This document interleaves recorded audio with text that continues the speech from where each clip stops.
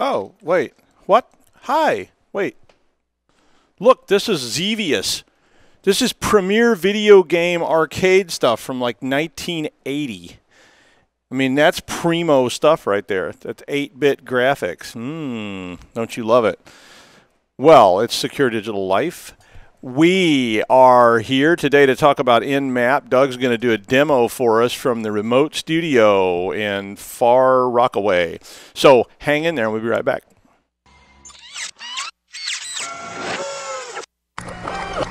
This is a Security Weekly production. Welcome to Secure Digital Life.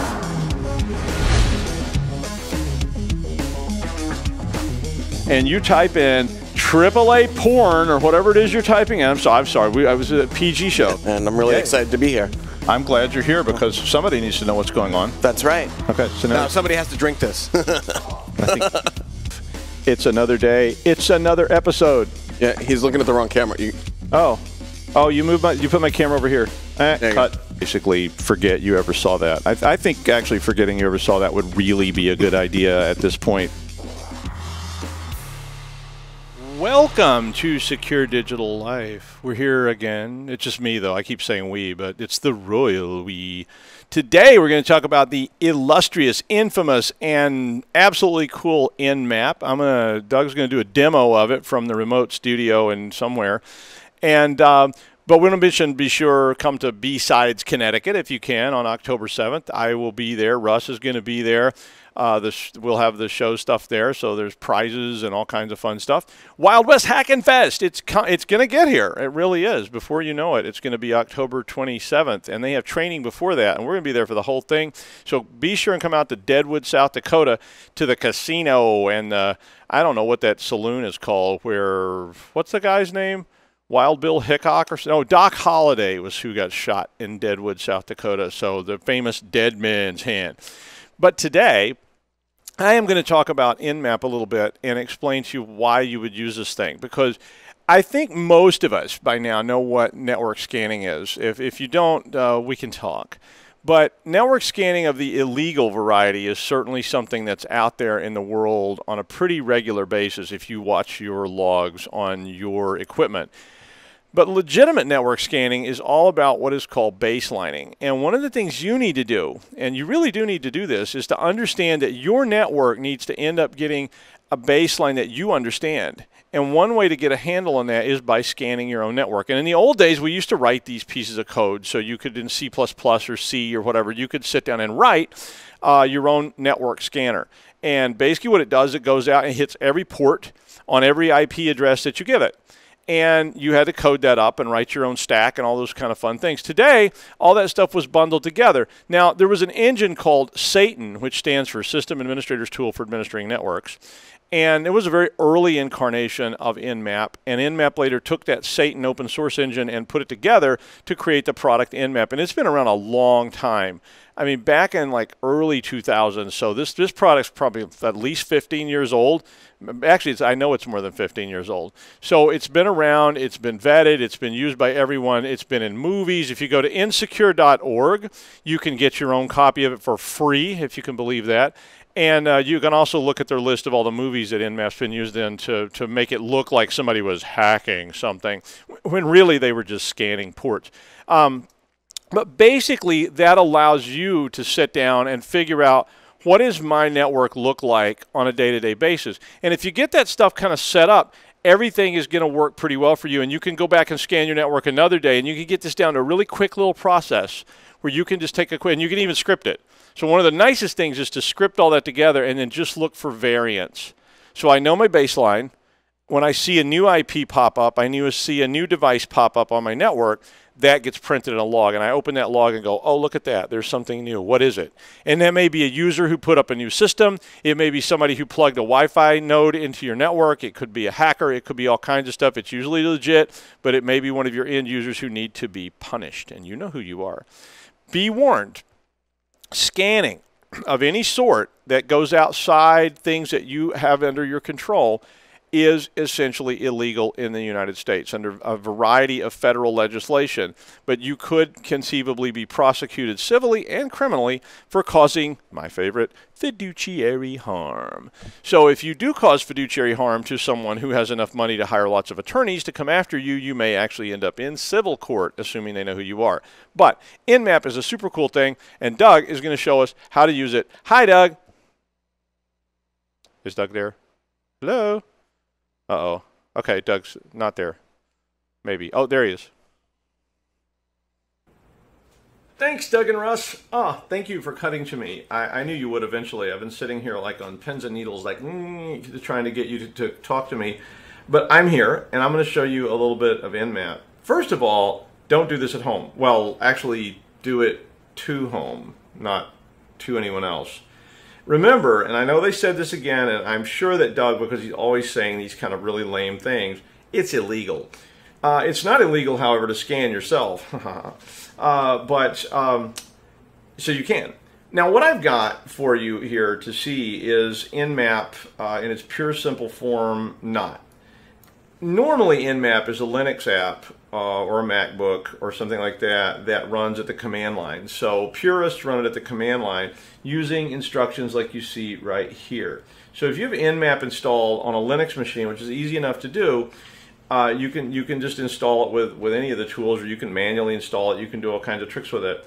But commands like this nmap T4AV are commands that you would type at the command line to do nmap But because Nmap is so popular, uh, they developed this thing called Zenmap, which is a Windows binary install. So that means you can just download one binary package and it installs the whole thing for you right there. And you can run it with this nice window uh, like you see here. And it has pretty much all the options. Uh, again, purists will tell you there's some specific things you might not be able to do easily here. But this is a great way to collect information and it does put it all in one nice place and it's it's it's visual so it's a little bit easier to use. I set up a network that's isolated from everything else and I put some targets on that network and we're going to see if we can figure out what those targets are. There's not very many so it won't take very long. But the network I'm going to scan I'm going to put that in the target box up here is 10.1.1 oh, except it's not one 10.1.1.0 slash 24 which means I'm going to scan all 255 addresses in this uh, 10.1.1 network. And so if I do that, you'll see now as soon as I put this in, the instruction down here is going to change on this line so that now you see it actually has this target. Now, you can scan lots and lots and lots of things with Nmap, and they have all these scans available for you out here in this box. And this does not include, I, I, somehow you can set up every scan you could normally do in Nmap, but they have all the basic ones here. Intense scans take a lot longer than uh, quick scans, ping scans, things like that. So for instance, if we just run a ping scan, which is the easiest and simplest thing you can imagine. Now this is wide open stuff. Uh, these are not stealth scans. We talked about in the last show, stealth scans and Christmas trees and things like that. This is a, a, a, wide open, everybody will see you scan. I'm going to run it right here, but it's super quick. It should happen pretty fast. And you'll see Nmap starting. You see the command that was used to run that command right there. And all of a sudden, you see stuff pop up on the screen. So you see now that it found four different hosts that are out here in the network. 10.1, I'm just going to say 1, 128, 129, and 130. I'm guessing these are DHCPs because they're sequential. And DHCP uh, uses sequential addresses, so it starts at some address, it goes on. I could even guess it is somebody who knows something about networking because their DHCP starts at 128. I'm guessing this is DHCP. Look at what it collected from these different devices. It collected MAC addresses, and it says right there, VMware. So it knows that this MAC address that it's seeing is very likely a VMware device. Again, VMware, VMware. Oh, I knew that was going to happen. Hang on, let me just silence that and shut it up. Um, all those things together add up to basically that we know we're probably dealing with a VMware network. So that's fine. It scanned 256 IP addresses, four hosts up, and it took five seconds to do this. So you got a lot of information. Each host is listed over here in this chart. Uh, you don't have any of this other information because you haven't done a scan at that level at this point in time. and you could glance at this. This is this is a very basic kind of thing that somebody you might set up on your network and run uh, every day, even just to see if that network segment has had stuff plugged into it, if it's got new things in it that aren't supposed to be there, and on and on and on. Let's try a little bit different scan though with it now. I'm going to switch over and we're going to run a Quick Scan Plus. And this Quick Scan Plus has a bunch of new options. And if you want to look up all these options, it's easy enough to do. Just jump on the internet, go to insecure.org or, or Google uh, Nmap with options or install Nmap and look at the options yourself. They do have a manual for it so you can get it. It tells you what every one of these things does specifically.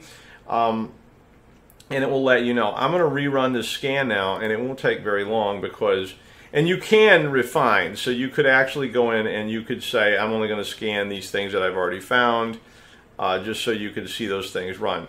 I'm going to pause you for a second while this scan runs because it does take a little bit longer. So this would be like a cooking show where uh, I say, and now put this in the oven for at 400 for, for oh, it actually already finished. So while I was babbling, it did, uh, I don't think it's actually completely finished yet, but we can start talking about it while it's still running if you look at this report now, um, we see that there's an Nmap report for the device 10111. Now, I know me, and I, I would guess that that's some kind of, uh, of a service on the network. Here is the first thing of real exciting interest. If you look right here, you see that this is port 22 TCP, and that's what that first little write up there, sorry, it, it keeps adding stuff. We got a bunch of services open down here. Um, we got 22 TCP open. That is known as SSH. Now, I'm going to give you a caution about Nmap. Nmap is not brilliant. It's a great product, don't get me wrong, but it is not smart, meaning it didn't probe that port and see if it's really SSH. All it did was probe the port with a TCP SYN packet. And if you haven't, if you don't know what I'm talking about there, go watch the show from last week. It probed it with a SYN packet. It got a SYN-ACK packet back. It completed the connection. So it pretty much believes that that is, actually maybe it did probe it. I think they've updated it because it actually gives you a version of this. So it says it's Open SSH 5.5 Debian 6 plus squeeze 8. It's giving you a bunch of information, so I think it actually must have probed it. So I'll strike all that. Um, that's an important port because if we were probing a network trying to accomplish something, we could very easily jump in there on port 22 and now start trying to brute force password attack. We don't know what this device is at this point. Um, what I can tell you is I've got a Mac. We had that before, so we've got VMware. So we know this is probably a virtual machine. That's fine.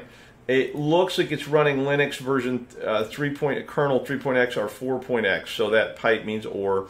It's got an OS estimate here, and it doesn't have much information. It guesses that it's Linux 3.2 or 4. Point something. Um, I'll tell you later what this thing is. It did not uh, fingerprint this device uh, particularly well at this point, so we'll see if we can do a little better later. Um, we scanned 128, so we jumped up to the next device here. The host is up.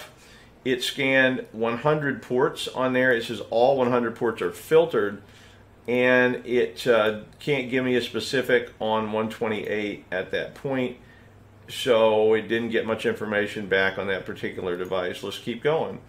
Now you could go back and do revised scans that focus, and I'll show you how to. We'll go back and try to scan this a little harder later. Uh, Nmap uh, scanned for 129. The host was up. Uh, it had 90 closed ports, but there are some open. Port 22 and port 80 were both open. That means that this thing is very possibly, and it's running OpenSSH 7.3 and it's running Apache. So it did probe the port, looks like, to get information back. Apache HTTPD 2.4.18. This is information that hackers love. Uh, you may love this information too on your own networks because what if you go out there and see somebody put up a web server in your network? That's what Apache HTTPD is. So that Apache uh, daemon is running in this network, and that's the version of it if you're concerned about the version of Apache people are running, this is a good way to test it quickly because you saw how little time this scan took. Uh, let's see if we got any guesses on what this thing is. It's again, it's very similar. It's trying to guess the OS, but it didn't actually tell us specifically what that OS was. Let's see if we got another one here.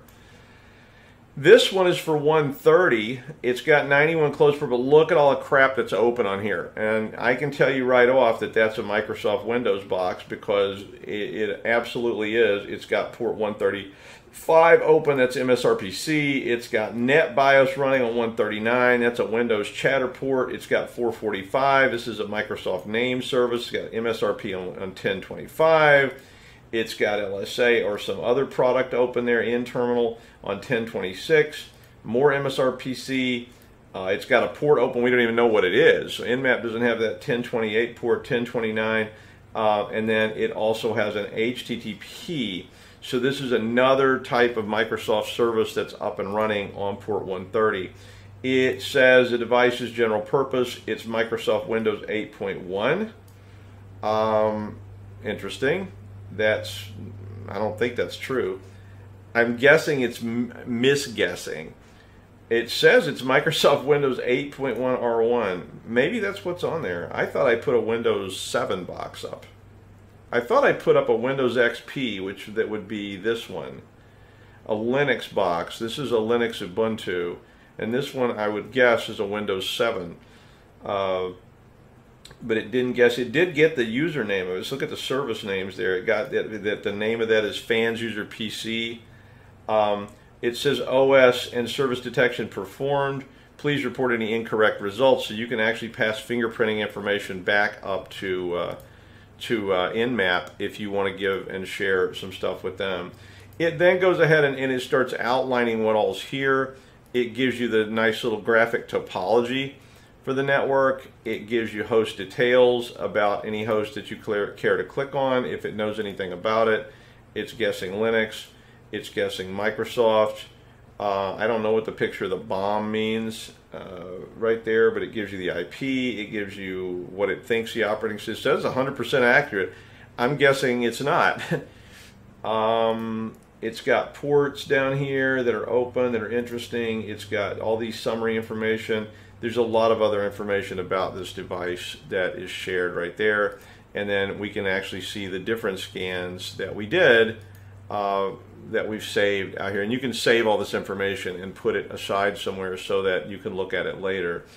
We have a ton of information here. So now we actually have a summary of all the ports we now see that are open uh, for all these different devices. You can click through very quickly.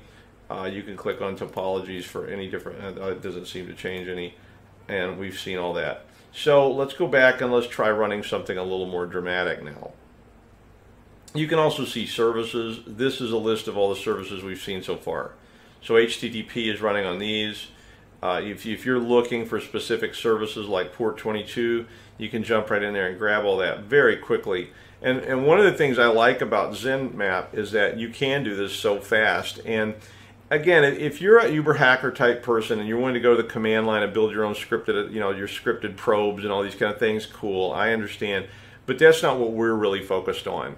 We're really more focused on protecting yourself and protecting your network. This is a great way to jump in at your home or whatever, or your apartment, and look at what your network looks like. Don't scan other people's stuff, but you can see what's in your local network. If you jump out of your local network and you start scanning other people, meaning you change this target. So I'm going to write, I'm going to, I'm not going to do that. That would be really bad. I'm not going to jump in there and, and do anything more dramatic. Let's try doing a more intense scan though. I'm going to do an intense scan plus, and I'll pause it while this, these take a little while. Um, I'm going to pause you right. I'm going to start the scan, and you see that the instruction right here goes. So I'm scanning, and when you do this with the zero, it's scanning the entire network. And maybe while I'm babbling, and you see it going here, and it's jumping through all these different addresses that are down, and just sort of skipping along, trying to see. I'm going to pause you while it runs, okay? Okay, so I like got old sitting here. Um, waiting on this thing to finish. This is why you don't tend to do intense scans that took forever. Um, certainly we can go back up and I can walk you through some of this. It's still running actually. I think it's been about an hour and 15 minutes since it started. Uh, if you do try to scan, you know, really lengthy types of scans of big networks with lots of hosts. So like Doug and Russ probably told you about, Baselines are really good. It allows you to look for things with quick scans, which is what you really want to do. You don't want to commit yourself to where you have to do 15 hours of scanning every day because you're not going to do it. And then it basically just becomes pointless. But let's just quickly look at what we found. Again, we know there's four hosts here. You can see that it ran a very intensive scan. It went out, it ran all kinds of UDP scans of these different addresses uh, scanning thousands and thousands of, of uh, ports all the time. It finished all that finally. Then it started doing service scans, which take a long time to do. And you can see all these scans running here where it's running different services. It's trying to test.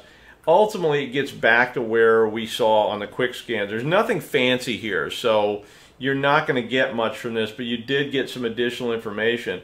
You can see that it actually gathered the different keys now these are not break-in keys, mind you.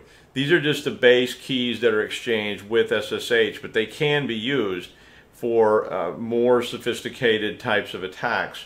Uh, we did find some additional ports open, like this UDP port 123.